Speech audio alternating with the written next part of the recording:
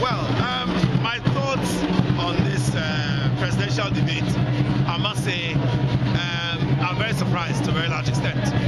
Simply because I knew that uh, Dr. Bawumia would do very well.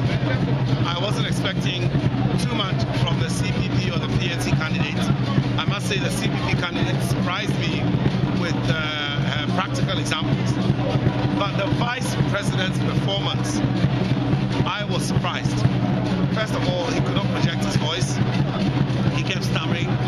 He wasn't able to articulate most of the things he'd have liked to say.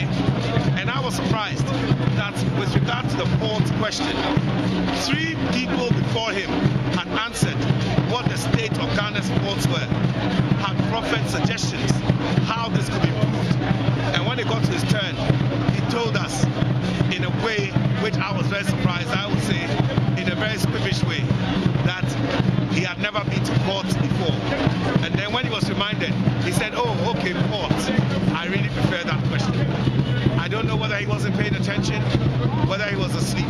But then again, where's the surprise, Ghana?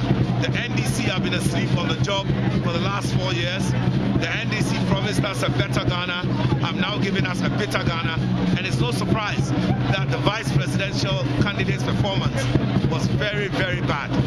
Dr. Mahmoud Bawumia gave us suggestions. He told us you cannot have inflation when we have high cost of living, where we have exchange rate very poor, where we have very poor interest rates. These correlations must show that there is single digit. But where you have one going south and the rest going north, then you know that the correlation is fake and therefore the uh, consequences will be shown accordingly.